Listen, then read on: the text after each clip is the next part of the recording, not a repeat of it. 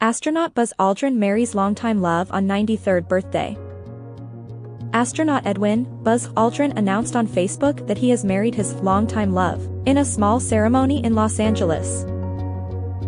Aldrin, who made history along with Neil Armstrong as the first humans to set foot on the surface of the moon, said the wedding took place on Friday, which was his 93rd birthday. I am pleased to announce that my longtime love and partner, Dr. Anca Faur, and I have tied the knot we were joined in holy matrimony in a small private ceremony in Los Angeles. And are as excited as eloping teenagers, he wrote.